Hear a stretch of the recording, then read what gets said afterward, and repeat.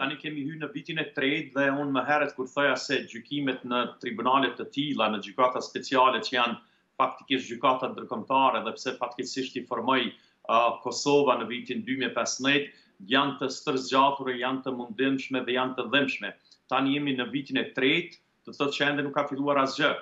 Dhe unë po ju garantoj që gjykimi do të zgjasë për afërsisht rreth 4 viteve, pak më tepër, po të flas për atë vendimin përfundimtar, meqenëse të gjitha shkallët duhet të kalohen, nëse ata shpallen të pafajshëm që ne të gjithë e dëshirojmë, atëherë besojmë që prokuroria mund të paraqesë ankesë, apo e kundërta, sepse gjykata speciale është ekvivalente me sistemin juridik të Kosovës dhe është në tri shkallë, është thuajse tani po fillon në shkallën e parë, gjë që është ekvivalente si me ndonjë gjykatë pra, themelore në Kosovë. Pra, më e pakta edhe 4 vjet ish-komandantët nuk do t'jenë në Kosovë?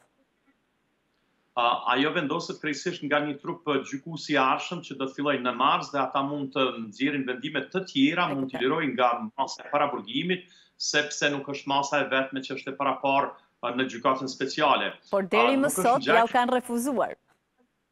Deri më sot jau kanë refuzuar se po të ishte ndryshe ata do të flisnin vetë për vetveten dhe jo që do të flisja unë dhe tani është paksa një lehtësim meqenëse edhe pse kemi ngjajshmëri me Tribunalin e Hagës për ish-Jugosllavinë ku unë dhe të tjerët kemi punuar edhe në rastin Haradinaj dhe Limaj, një pjesë e avokatëve që tani janë duke i mbrojtur ish-udhëheqësit e Ushtrisë Çlirimtare të Kosovës kanë qenë ekipe, kanë qenë thjesht të njëjtit.